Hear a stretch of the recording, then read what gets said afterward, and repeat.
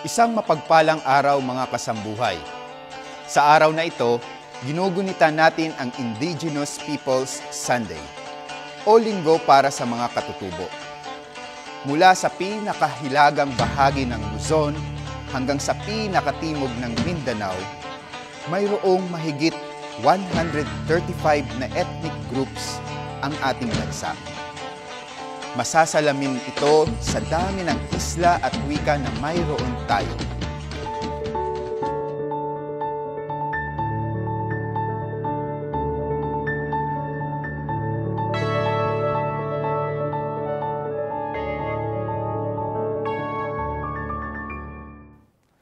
Mula sa ideya ng mga nagsidalo sa isang convention ng Episcopal Commission on Tribal Filipinos o ECTF sa pamumuno ni Bishop Bienvenido Tudtud ng Marawi, ipinanukala sa CBCP ang pagkakaroon ng isang pagdiriwang upang mas makilala at maunawaan ng simbahan ang ating mga kapatid na katutubo.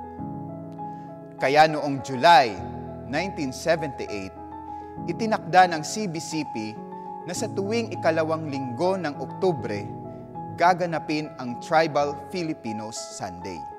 Noong October 8, 1978, idinaos ang kauna-unahang Tribal Filipino Sunday sa ating bansa. Sa taong 1990, alinsunod sa pagbibigay pangalan ng United Nations sa mga katutubo bilang indigenous peoples, nagbago ang pangalan ng ECTF patungong Episcopal Commission on IP at gayon din ang pagdiriwang bilang IP Sunday. Ayon sa United Nations, maraming hamon ang kinakaharap ng mga kapatid nating katutubo tulad ng diskriminasyon, pag-angkin sa kanilang lupain at karapatan sa lupa, at kakulangan ng natatanggap na serbisyo publiko.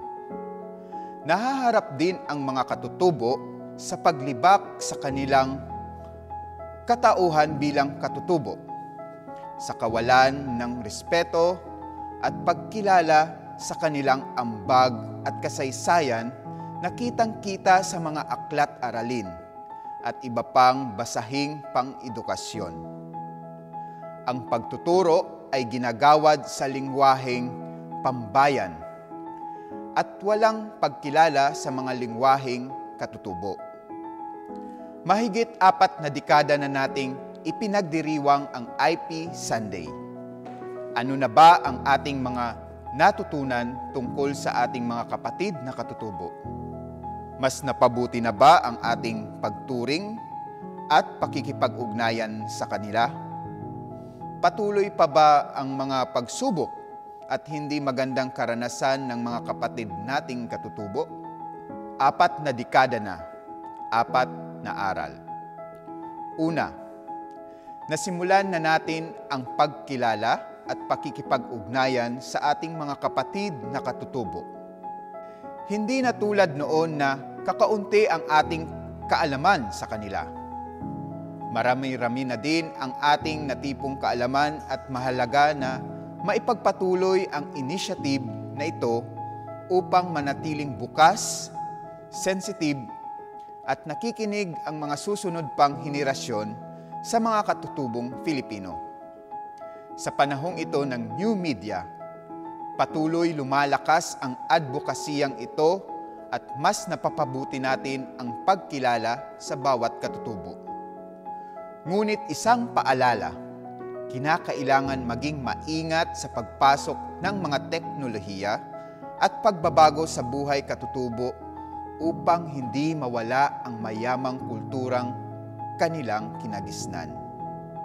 Ikalawa, marami na sa ating mga kababayang katutubo ang naging guro, doktor, inyinhero, pari, madre, at iba pang mga profesional na naglilingkod hindi lamang sa kanilang mga kapwa katutubo, maging sa buong bansa. Isa itong katibayan ng patuloy na lumalakas at mabuting bunga na advokasiyang nasimulan.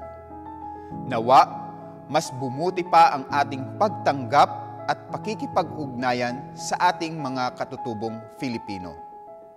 Kaya natin. Kaya rin nila. Basta't may pantay na oportunidad at tamang paggabay. Ikatlo, pamilya.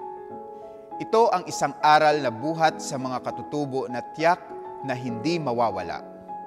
Malakas ang kanilang pagkapit at paniniwala sa halaga ng pamilya.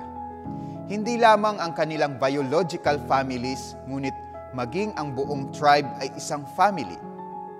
Mula noon hanggang ngayon, pinangangalagaan nila ang sanctity ng isang family.